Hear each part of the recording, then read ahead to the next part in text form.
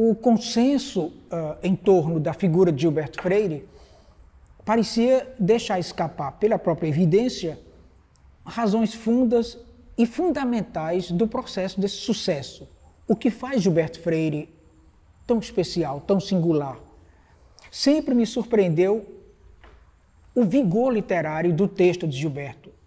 Depois, encontrei apoio, se não a razão, para a antiga suspeição citada e explicitada no Como e Porque Sou e Não Sou Sociólogo. Aqui, já de entrada, reconhece ter seu pensamento extrapolado às clausuras disciplinares. Né? É um sociólogo, com muito de antropólogo, com um tanto de historiador, não deixando de ser, é certo, um pensador da cultura brasileira. Um mestiço. Assim diria Montaigne. E Montaigne chama mestiço aquele pensador, perdão, que é um misto de disciplinas. Então, Montaigne chama de mestiço, como ele diz, eu também sou assim, porque é um pensador que está sentado entre duas celas. É um pouco de antropólogo, é também o sociólogo, é também o historiador, é também o literato. Então Montaigne diz: isso é um pensador mestiço, portanto compósito. Né? E Gilberto é isso. Mas, diz ele, o que principalmente sou, creio que é escritor. Escritor. E que me perdoem os literatos a pretensão e os beletristas a audácia literário. Tal conjunção de crítica e criação traz antecedentes magistrais.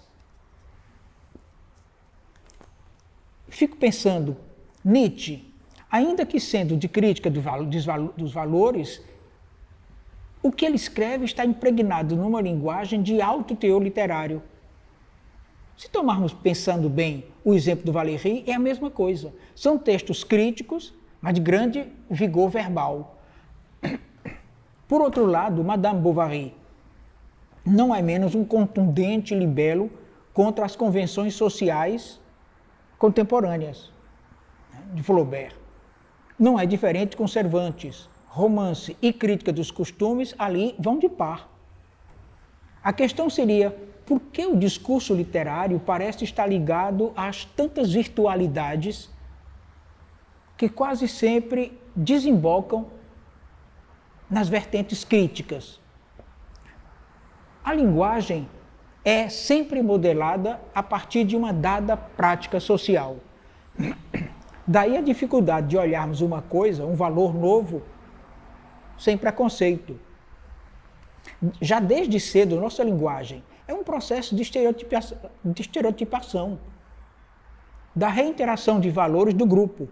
Portanto, somos facilmente preconceituosos.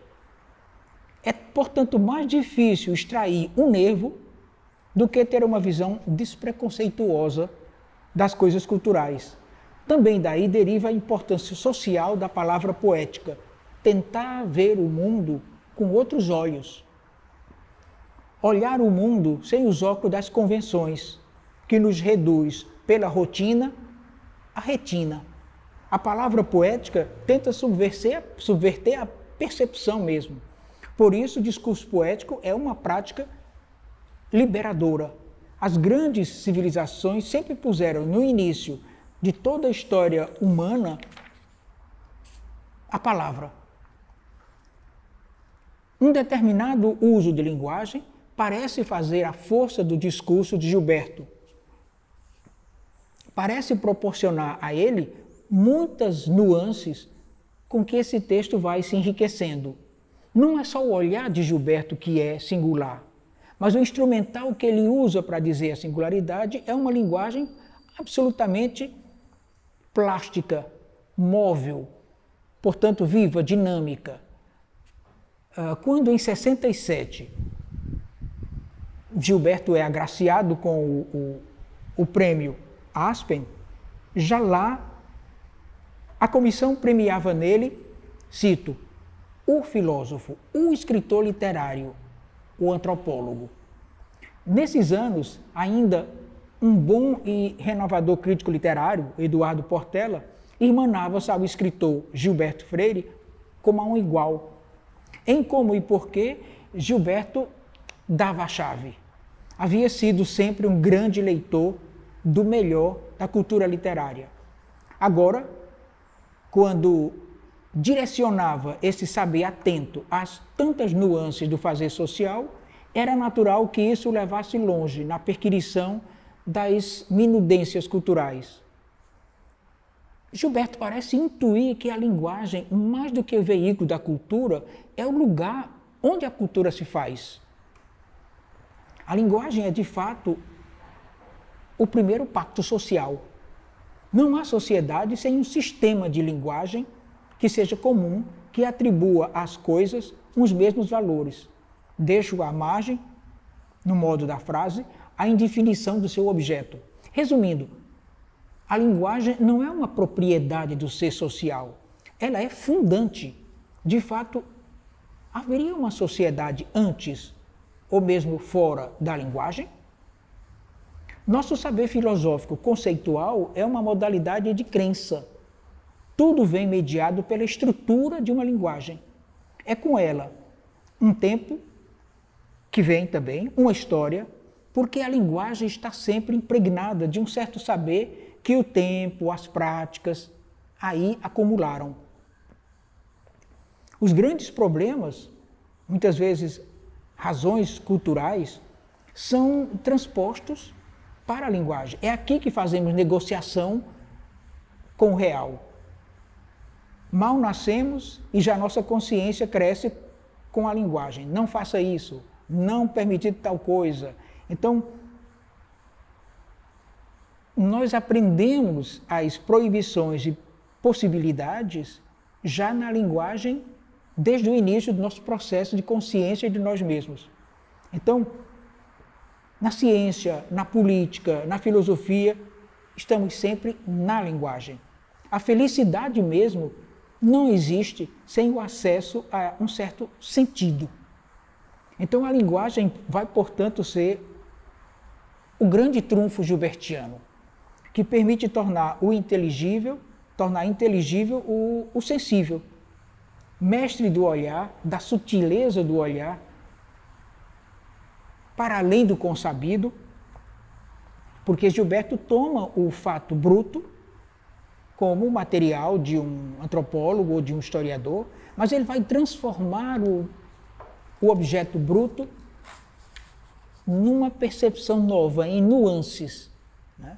Então, essa flexibilidade de sua sintaxe permite a plasmação de realidades que de outros modos, ficariam fora do campo de análise. A linguagem permite Gilberto ver mais e melhor. Porque é uma linguagem pasmada no movimento, ela muda a sintaxe e a gente vê o outro objeto. Então, isso permite ver mais.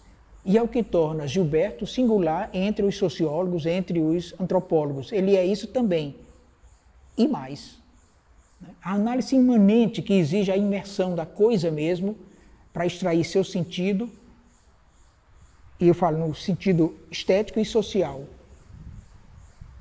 Ah, penso como sintomática a frequentação de Gilberto nos anos 30 em Lisboa, nas, tas nas tascas, nas, nos restaurantes, jantando com, bem modestamente, nos restaurantes mais entre gente do povo, mas segundo ele, aprendendo lições de lusitanidade que jamais teria aprendido frequentando, frequentando apenas meios aristocráticos e burgueses.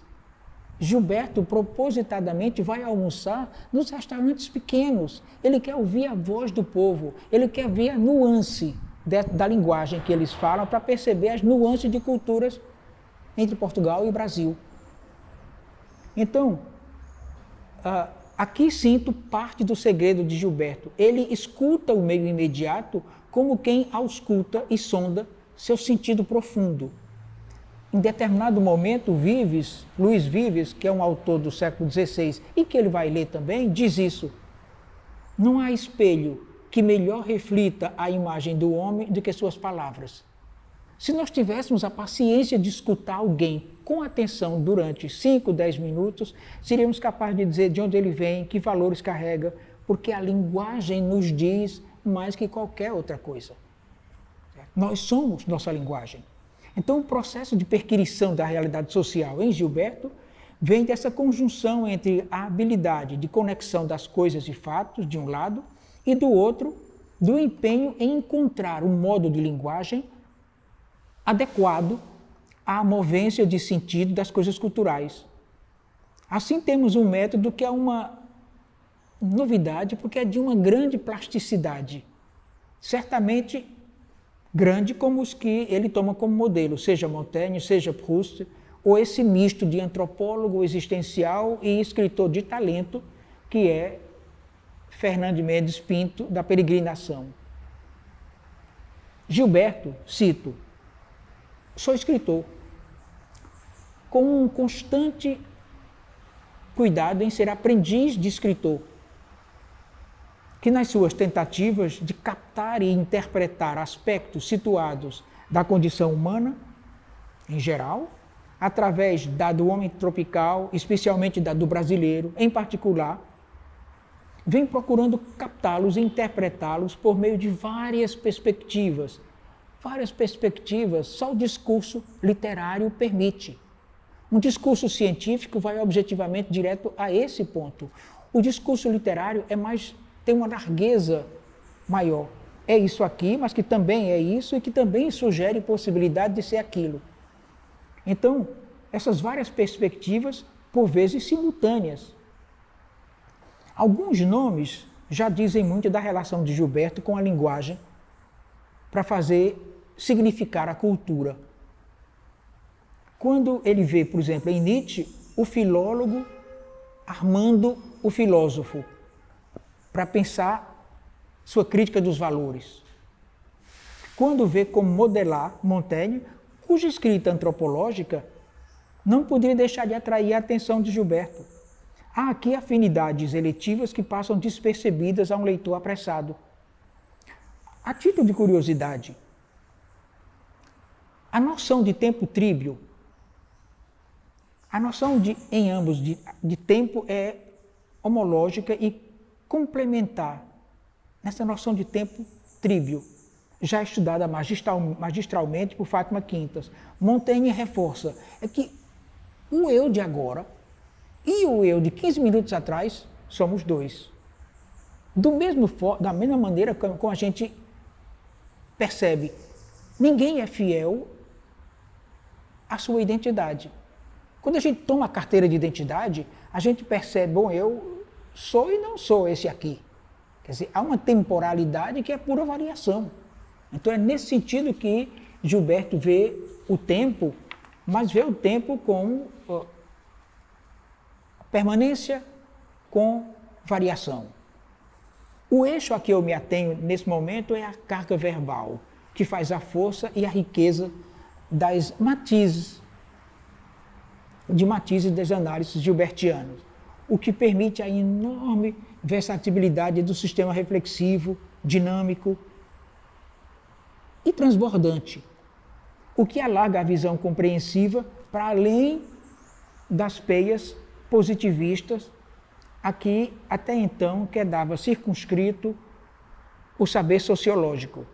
O saber sociológico era tomar um dado, carregar esse dado com um gráfico ou pelo menos com uma nota de pé de página não é o procedimento de Gilberto. Ele avança numa forma ensaística que permite conciliar documentação e a aventura pessoal da interpretação.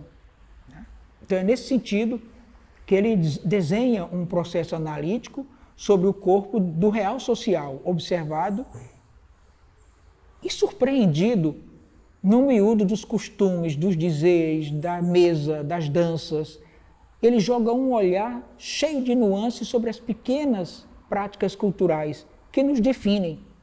Então, é nesse sentido, ele liberta a interpretação do automatismo mental dos grandes esquemas explicativos. Aqui fica evidente que não basta alcançar a ciência, é preciso saber usá-la.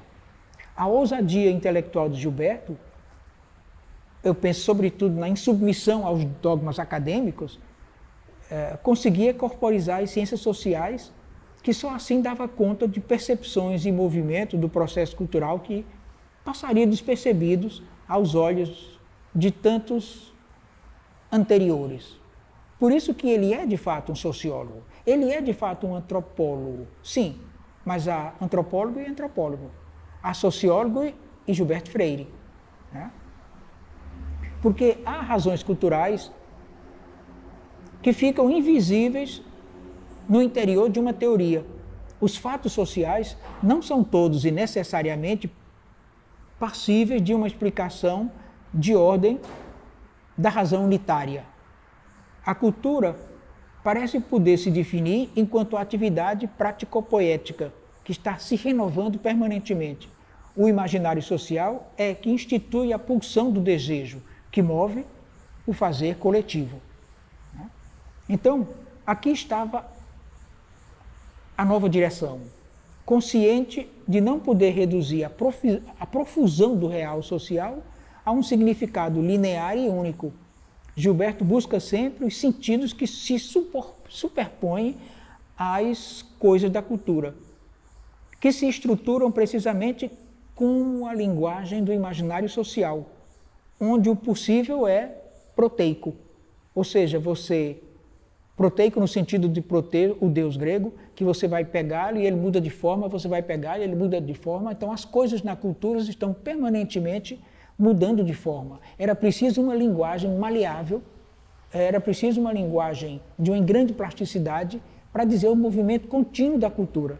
A linguagem científica define e é um ponto final. A linguagem literária tenta abarcar e são três pontos. Deixa sempre a suposição em aberto. Ela não responde questões, alarga as perguntas. Então, um elemento gerador e condicionador dos valores no sentido das práticas sociais, naqueles anos era uma atitude meio herética uh, face à cientificidade. Já Gilberto fazia um feliz aproveitamento das outras linguagens, por exemplo, usando jornais, anúncios sociologicamente expressivos, daguerreótipos, depoimentos orais. Ele se servia de tudo os diversos modos de representação do real social. Daí a aceitação do que ele chama de as várias verdades. No mundo científico daquele momento, é quase herético dizer isso. A verdade ou não é verdade. Ele diz há tantas verdades quantas percepções. Então, nisso, ele lembra um lance do Vieira, para Antônio Vieira, que diz: o verdadeiro saber é reconhecer a verdade ainda que filha de outros olhos e de outro entendimento, e não se cegar ao próprio. Né? Então, é justamente aqui o, o, que o sociólogo ousa, mas sabe seus riscos, sabe que todo saber novo só se põe quando se opõe ao já consabido.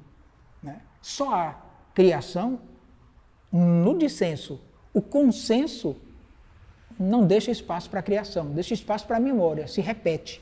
Então só há cultura quando, em vez de repetição, prevalece a criação, a transformação. Então, daí ser sua frase, sobre modo na fase mais madura, uma frase sinuosa, contorcida, entrecortada de nuances. Porque em Gilberto não há que se confundir audácia e arrogância ele avança devagar, procurando, buscando, não tem um discurso professoral ou doutrinal. Né? Se toma a questão pelo prisma da linguagem é porque esta já está em estreita relação com a significação. Aqui há uma abordagem que vai via linguagem aos hábitos mentais de uma dada estrutura social. É aqui que se define grande parte do projeto sociológico, seja antropológico, contemporâneo já. Foi aqui que Gilberto Freire inovou, renovou, levou os estudos sociais para além das fronteiras, além da clausura epistemológica. a que estava circunscrita pela superstição da cientificidade. Ele se aventura, ele avança. Então, a ordenação e a organização das imagens provoca uma significação singular. Dá conta, pelo referencial poetizado, das observações oblíquas e certeiras próprias de uma cultura. Como quando ele diz, com uma certa crueza, mas cheia de graça, que uma tal senhora arredondou-se em sinhar. É certamente aquilo a que Petrônio chama de Horácio Curiosa Felicitas, que é o, o achado feliz, é o dizer com uma precisão que guarde também a graça, um modo de dizer. Então, é por isso que desde cedo Gilberto frequenta os grandes escritores, os grandes criadores de linguagem como Lope de Vega, como Fernão Mendes Pinto, Cervantes, Luiz Vives, Ramon Lúlio, Camões, no que a escritura deles tem de visada antropológica, de percepção de nuances do outro. E é o que logo perceberam e louvaram Fernand Braudel, por exemplo, Roland Barthes, ou um dos historiadores tão freirianos como Georges Duby. Né? O que aqui eu queria fazer ver, para findar, é a importância do modo historiográfico em Gilberto. Uma linguagem que permite pensar de forma indireta. Ele não pensa por conceitos, mas, sobretudo, por imagem. Ele vai falar de percepção oblíqua. Eu gosto particularmente muito da expressão. Gostaria de pensar a linguagem literária de Gilberto como imagem letral, a do ômega, né? que é a conjunção gráfica de linearidade e circularidade. Gilberto é linear na sua ida direta ao seu objeto, na descoberta da coisa, e é circular quando passa da descoberta ao reconhecimento, indo buscar num tempo ou num terreno remoto, o sentido que teve tal prática social. O que resulta daí é um discurso delicioso e exato, e diferindo da descrição conceitual, assim como o voo sacudido do gafanhoto difere do voo sinuoso da andorinha. Qual a relação então entre literatura e antropologia? É que, é que não existe literatura enquanto uma entidade em si. Existe sim possibilidades de dizer que então tomam forma. Assim como não existe o homem, senão um homem encarnado num tempo e numa cultura. A história, como homem, é uma soma de suas possibilidades. E de que melhor recurso poderia Gilberto se valer para dizer os modos culturais, senão o discurso literário? Essa tentativa incessante de plasmar um objeto, o homem, que é sempre, ainda no dizer de Montaigne, ondulante e permanentemente diverso. Por isso, creio, o Gilberto é um pensador agudo, arguto, engenhoso na sua antropologia cultural, mestre de linguagem que fez dele um mestre, sugestivo, evocativo, interpretativo, provocante. Por isso o texto permanece não se esgota nessa transitividade circunstancial. Para findar, eu queria pensar: o político toma a palavra. O escritor, como Gilberto, ele é tomado pela palavra.